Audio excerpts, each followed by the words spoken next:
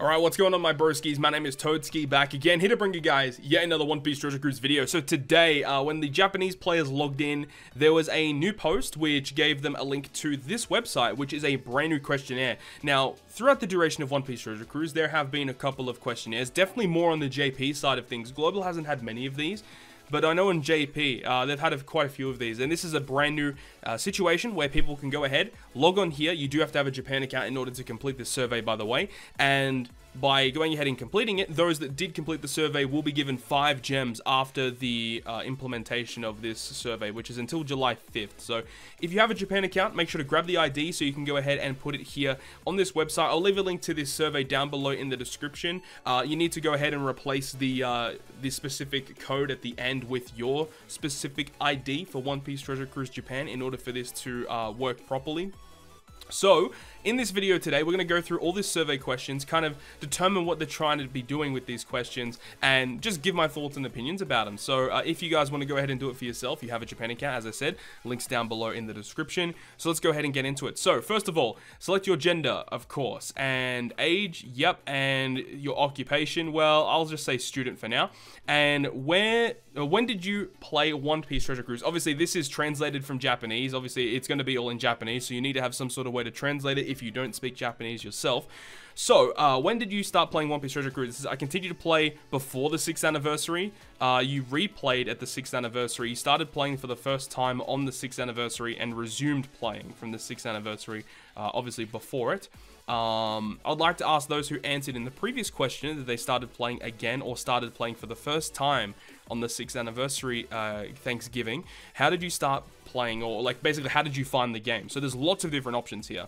Um, obviously answer, answer, truthfully for this kind of thing. Um, but the first time that I got introduced into One Piece Treasure Cruise, obviously a lot of my answers to this won't really matter that much because I never really played during the 6th anniversary that much. I did the summons of course, but you know I didn't really play all that much.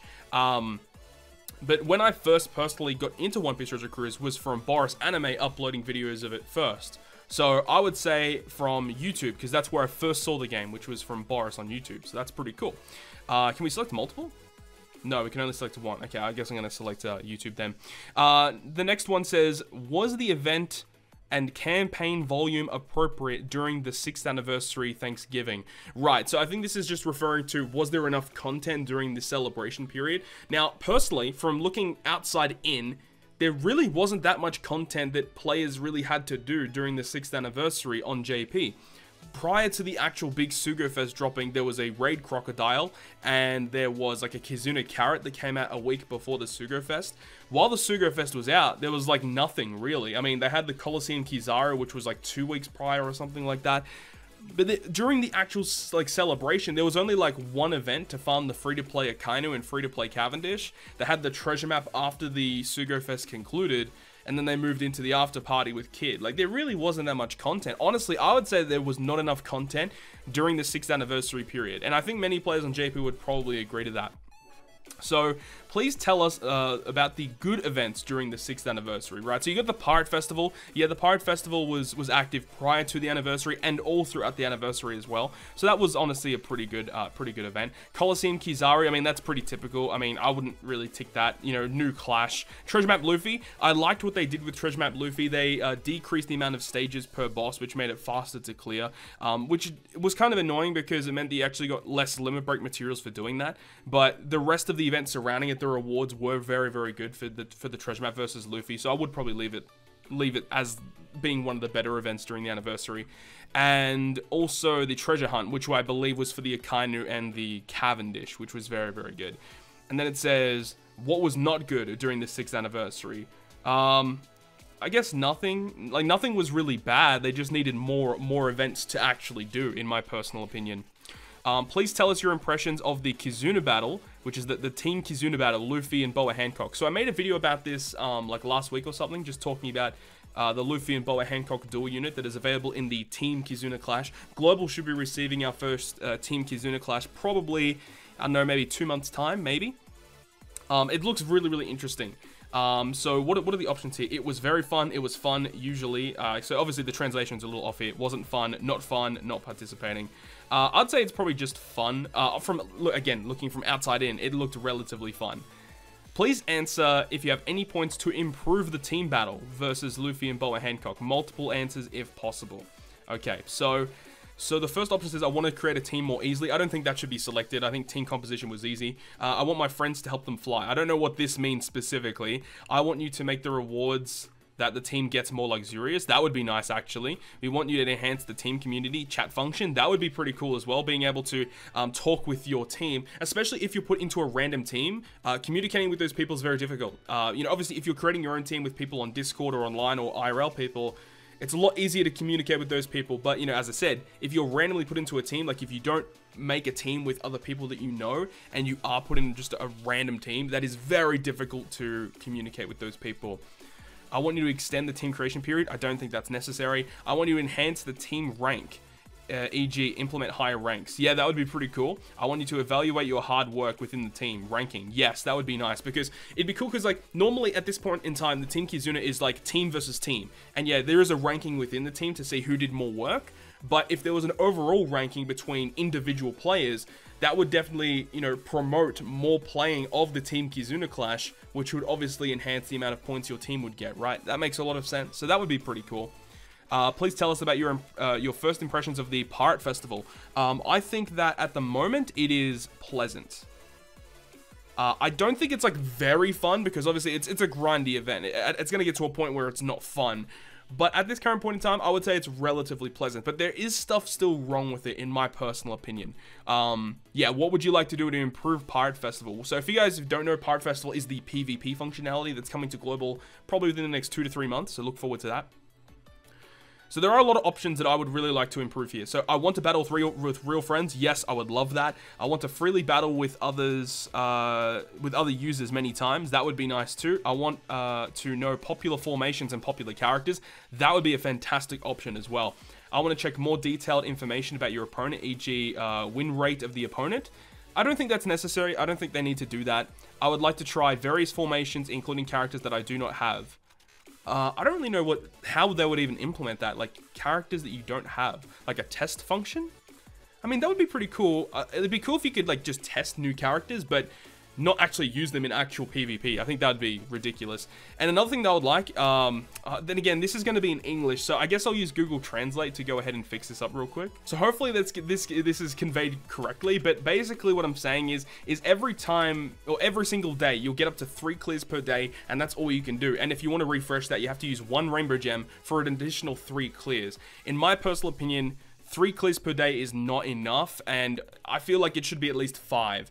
Five, in my opinion, would be a lot better, especially because if you're spending consistent rainbow gems to try and rank up, you know, if, if you go ahead and fail a run, like if you lose against an opponent, you just lose so many ranks and then you have to use additional gems to get back the the ranks that you lost and it's just terrible. I think five would be a much more fairer option compared to three. That's my personal opinion and i think they should probably take that on board. I think a lot of players would probably agree with that fact. I think more than three clears per day would be nice. Okay, so what kind of event would you like to have when you hold a joint event with One Piece Treasure Cruise Global Edition in the future?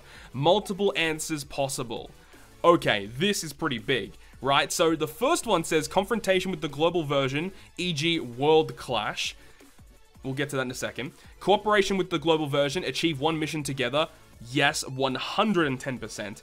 And don't ask for events with the global version. I hope JP players don't select that. Like, that's... Oh, come on, bro. Don't be like that. But uh, as for the first one, if you guys remember the World Clash back in the day, uh, do I have the link for that website still? So it looks like I don't have the website anymore. The website's actually been taken down, which is unfortunate. But what happened was, is it was the Korean, the English, and the French version of the game versus just the Japanese version. And the Japanese version whipped our ass, and it was really, really bad. Um, uh, the JP version, because they won all five of the of the islands, they got like a bunch of additional rewards because of it. So I assume the, the Japanese version will probably select this just because they know they're to win. But it would be also nice if we had this type of functionality as well. Honestly, I would still like to see either version of the of either the World Clash or a cooperative mission both of those I'd still be happy with, even if, you know, it is a World Clash again and Global gets destroyed once again. I, I don't care. I just like the fact that they are trying to bring both versions together for a collaborative event. That would be epic. Um, I just hope that they do that in the future. And I feel like you're just stupid if you like don't have a cooperation event. I feel like that's the dumbest thing ever. But anyways, uh, did you participate in the Twitter retweet campaign for the 10 consecutive free? Yeah, okay, participated of course. Please tell us how much you you read the original comic of One Piece every single week. I read it every single week. I'm up to date with the manga and then uh, tell us how much you watch One Piece anime. Well, I watch every single week that it's available. And it says, please tell us the kind of content you are touching on One Piece other than the app games. Select up to three. Well, I buy figurines from Japan every now and again. Uh, I don't really use the Gashapon machines, lottery, nothing special. Sho I don't even know what Shokugan is. Okay, so I looked it up. Shokugan is basically like more figurines, I suppose, but like miniature figurines. Home games, I guess, yeah, if, if home games counts as like the actual console games, then yeah. And prize goods, yeah, that I do purchase prize goods sometimes, and that's about that's basically about it. And please tell us the information you get related to One Piece. Uh, where do I get my information from? I go to OnePiece.com sometimes. Weekly Shonen Jump, of course. Uh, the magazine, Instagram, Twitter account. Yep, following the Twitter, of course. And do you want to send information to your line account? No. Uh, do you want to hold a real event sponsored by the operation, such as a fan meeting for the future One Piece Treasure Cruise? That is exciting. I always love it when they go ahead, go above and beyond, and produce those IRL events. That is awesome, and I, I really, really do enjoy that a lot. I want you to carry it out. I would rather I would rather carry it out. Neither. I don't want you to. No. We want that to happen. We 100% want that to happen. Uh, do you want to collaborate with One Piece related goods on future One Piece Treasure Cruise? Yes, any collaboration is awesome, 100%, right? Something that I glossed over as well, um, it says, how much do you read the original comic of One Piece? definitely select that you do read this, uh, that you do read the One Piece manga. Um, if you are anime only, obviously that does kind of suck. You should probably stay up to date with the manga because the manga is fantastic. But this would show the, the, the, developers that, you know, that there are a large majority of people that read the manga. And if we show that there are a large majority of people that do read it, then that would say to them that potentially we should put in some of those manga-only characters um, a lot quicker before they arrive in the anime. Now, of course, for anime only, yeah, that would kind of suck. I mean, like Soba Mask and Snake Man, as I said a bit earlier, were revealed a lot earlier in uh, in One Piece Treasure Cruise before their anime debut. But it definitely just builds so much hype around the characters. When Soba Mask released, he was uh, insanely hype, right? When Snake Man first released, insanely hype. Just imagine if they if they reveal Oden, Kozuki Oden in, in One Piece Treasure Cruise, man. It would be insane. And there's just I'm not going to go into into manga spoiler territory, but there are a bunch of characters that would be awesome to see in Treasure Cruise, but we just have to wait for them to be revealed in the anime first. But if they did this, it would show to them that we want to see some manga characters, right? For sure. But that's basically it. I think I've answered every single question. Uh, I don't really have much else to say other than the fact that in PvP, more than three tries per day would be would be a, a great, great opportunity. I hope that Global gets a gets a, um, a questionnaire like this in the future. We'll go ahead to the confirmation page, submit all of our answers, and that's about it. I think there's a confirmation confirm and send. There we go. So uh, that's going to wrap up this video today, guys. As I said, if you guys want to do this for yourself, I'll leave a link down below in the video description so you can uh, go ahead and check it out for yourself. Uh, make sure to answer them and uh, let the developers know what you want to see in One Piece Treasure Cruise Japan. And, you know, stuff that arrives in Japan will likely arrive to global at a later date. So hopefully you guys enjoyed this video today. And if you guys did, make sure to leave a like. And if you want to stay up to date with all the content I post, including more One Piece Treasure Cruise content, make sure to hit the subscribe button down below. But on that, guys, I'll see you guys within the next video.